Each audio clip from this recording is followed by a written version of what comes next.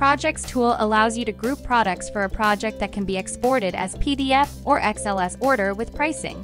To create a new project, click on Projects. Create and name a new project.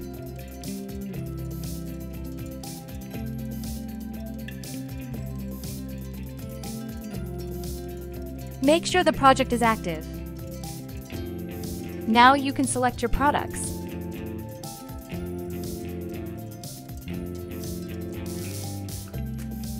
Click Add to Project. Select required accessories and add them to project.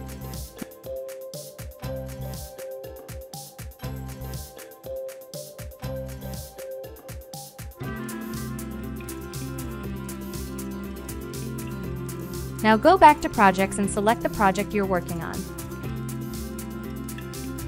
Here you can see what is in your project and export as PDF.